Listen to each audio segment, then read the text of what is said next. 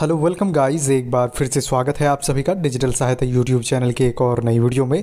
तो जैसा कि साथियों, कल के वीडियो में मैंने आप लोगों को बताया था कि आज 10 मई को पीएम आवास योजना ग्रामीण के अंतर्गत जो लाभार्थी है, उन्हें पहली, दूसरी और तीसरी किस्त की जो राशि है, वो उनके खाते में ट्रांसफ़र की जाएगी।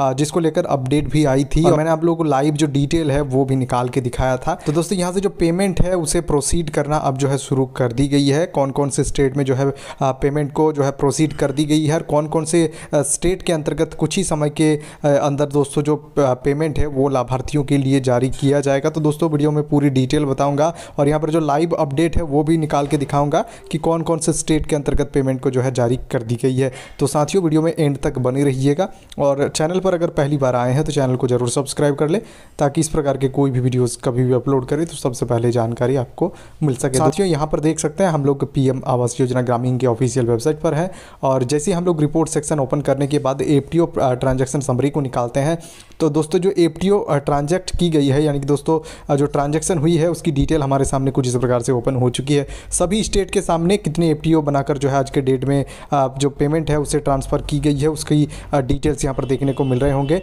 जिसमें सबसे पहले दोस्तों, अरुणाचल प्रदेश में आप देख सकते हैं। जिसमें साथियों, यहाँ पर अरुणाचल प्रदेश में आप देख सकते हैं कि पहली किस्त के लिए एक सौ जो है उनचास ए बनाई गई है, जिसमें पंद्रह लाभार्थी को पेमेंट करने की जो है प्रक्रिया की गई है। और उसके बाद दोस्तों दूसरी किस्त के लिए तो दो जो एफ़ है, वो बनाई गई, जिसमें तीन हज़ार चार सौ उनतीस जो लाभार्थी है, उन्हें पैसे ट्रांसफ़र किए गए। और तीसरी किस्त के लिए एक सौ सत्रह जो है एफटीओ बनाई गई, उसमें आठ सौ अठारह लाभार्थी है। बाकी सारे स्टेट में इसी प्रकार से आप डिटेल्स भी देख सकते हैं कौन कौन से स्टेट के अंतर्गत कितने एफटीओ बनाकर कितने लाभार्थियों को पेमेंट करने की जो है प्रक्रिया की गई। दोस्तों, दोपहर एक बजे के बाद सभी लाभार्थियों के खाते में जो पैसे हैं, वो भी क्रेडिट होना शुरू हो जाएगा। तो साथियों, अगर आपके भी प्रोफ़ाइल के अंतर्गत एफ़ बना था और आपके भी स्टेट में जो है पेमेंट शुरू हो चुके हैं तो साथियों कुछ ही समय के बाद आप जो है अपना जो अकाउंट है उसे चेक कर सकते हैं। आपके खाते में जो पैसे हैं, वो जल्द ही क्रेडिट होने वाली है। तो साथियों, बहुत बड़ी अपडेट और बहुत बड़ी खुशखबरी पीएम आवास योजना ग्रामीण के लाभार्थियों के लिए निकल कर आई। अगर आप सभी को जानकारी अच्छी लगे तो वीडियो को लाइक करें और इस प्रकार के और भी वीडियोज़ देखने के लिए हमारे चैनल को ज़रूर सब्सक्राइब करें। धन्यवाद।